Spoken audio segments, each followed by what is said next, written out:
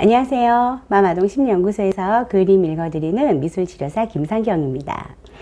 어, 제법 날씨가 많이 쌀쌀해졌는데 오늘 만날 아동은요. 가정과 학교와 그 모든 일상의 공간에서 폭력적인 행동이 이미 몸에 배어 있는 그래서 품행장애가 의심이 되었던 그런 아동이고요.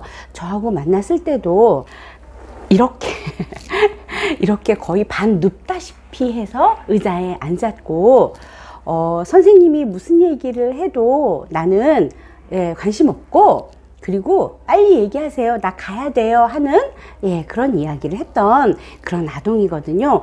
등치도 제법 있었어요. 이렇게 등치가 제법 있는 아동이 폭력적인 행동이 일상화되어 있어서 주위에 이 아동의 주위에 나름 폭력의 피해자들이 제법 있어요. 그러다 보니까 어쩔 수 없이 이렇게 상담 기간까지 오게 된 그런 사례의 아동인데, 자, 이 아동이 그나마, 그나마 그림을 그리는데 예, 열의를 가지고 에너지를 있는 대로 사용해서 그림을 그렸어요. 저는 그림을 그려줬다는 그 사실만으로도 너무 고마웠을 정도로 태도가 상당히 불량했었거든요. 자, 그러면 이 친구는 왜 그림을 열심히 그렸을까요? 여러분들하고 한번 살펴보겠습니다. 자, 그림상에 어떤 에너지가 표현이 되어 있습니다. 자, 제가 이걸 어떤 에너지라고 얘기할 수 있을까요? 우선 먼저 좀 독특한 점부터 이야기를 해볼게요. 집이 그려져 있고요. 나무가 집 뒤에 사선으로 가려져서 넘어질 듯 넘어질 듯 너, 넘어지지 않는 나무가 표현이 되어 있습니다. 그리고 나무 가지는 보이지 않은데 나무의 수간이 제법 뾰족뾰족하게 표현이 되어 있죠. 그리고 이어서 사람은 다리를 벌리고 있고요. 팔도 뻗고 있는데 거의 예 춤을 추듯이 뭐 아니면 어 날아가듯이 예 팔을 뻗고 있는 사람이 표현이 되어 있는데 얼굴 표현이 없어요. 예 그래서 앞모습인지 뒷모습인지 알아볼 수가 없는데 저 친구한테 물어보니까 뒷모습이래요. 자기가 눈, 코, 입 이런 거 그리기 싫어서 그냥 뒷모습 그렸대요. 자, 그러면 이 검은 실루엣만 있는 뒷모습의 저 사람에서 무엇을 해석할 수 있을까요?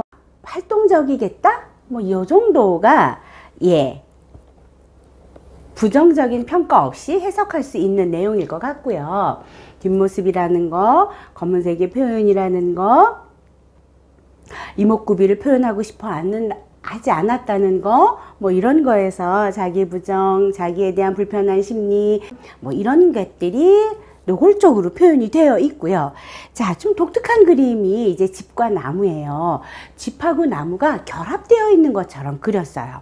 그리고 나무가 집 뒤에 있는데 사선으로, 음, 쓰러질 것 같기도 하고요. 저대로 넘어질 것 같기도 하고, 그렇게 나무가 있습니다. 그리고 나무의 수간은 뻗쳐 있다고 얘기해야 되나요? 가지는 보이지 않는데 네, 뻗친 느낌의 수간이에요.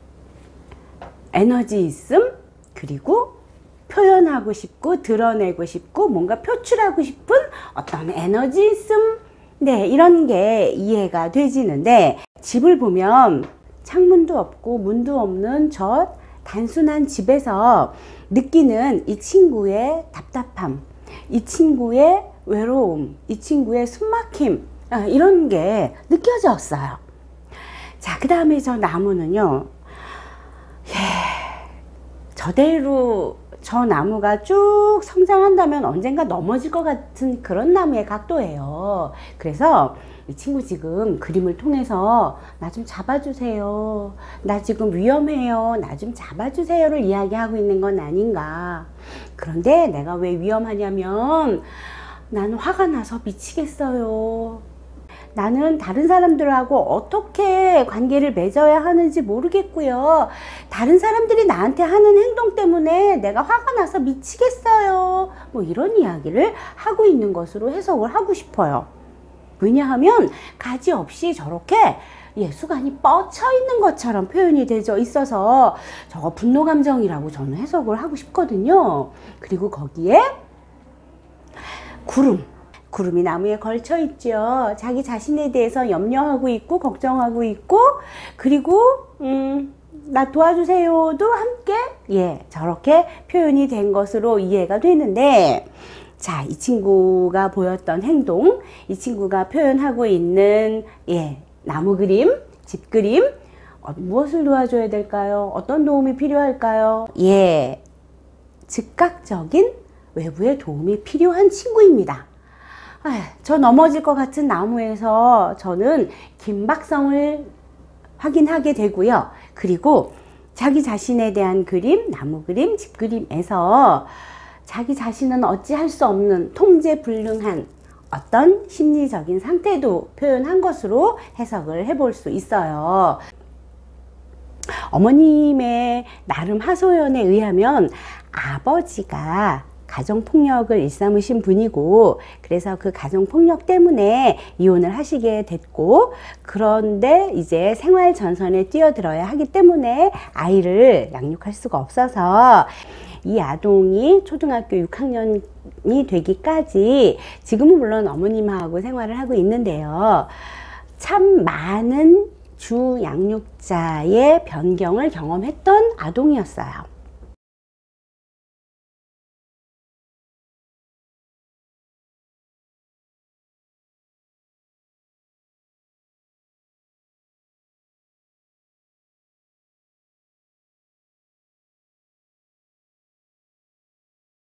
여기저기 옮겨 다니면서 성장했던 어린 시절이 자기 자신에 대해서 불편하게 느끼게 한 것 같았고요. 그래서 자기 자신을 인식하는 게 불편했는데, 그런데 이 친구, 자기 자신에게서 느끼는 그 불편감에서 오는 억울한 분노를 표현하고 있는 것 같습니다. 자기 자신에 대해서 왜 나는 예, 누구도 알아주지 않고 누구도 인정해주지 않고 나는 왜 이렇게 예, 눈치를 받으면서 성장을 했나라고 하는 분노 감정이 폭력적인 행동하고 연결이 된 건 아닌가 출발점을 저는 그런 어린 시절에 예, 안정적이지 않은 양육 환경을 제일 먼저 우선으로 꼽았고요. 그래서 아, 이 친구에게는 안정적인 상황에서 자기의 분노를 충분히 표출할 수 있고 드러낼 수 있고 다 표현할 수 있는 시간과 공간이 주어지는 게 정답일 것 같아요. 제가 정답이라고 단정적으로 말씀을 드린 건 그 이상의 다른 어떤 방법도 이 친구한테는 먹히지 않을 겁니다. 왜요? 귀를 닫고 있잖아요. 그러면 안 돼라고 하는 타인의 어른들의 또래 친구들의 반응에 귀를 닫고 있어요. 그래서 어떤 말도 지금 들어오지 않는 상황이기 때문에 내 안에 있는 걸 다 드러내고 표현할 수 있는 시간과 공간이 주어져야 될 것 같고요. 그 시간과 공간은 위험한 상황이 아닌 지극히 안정적인 상황에서 지극히 안정적인 환경에서 나를 다 표출할 수 있게 도와주는 게 우선 가장 시급한 문제라고 판단을 했습니다. 미술 치료 해야 될 것 같아요.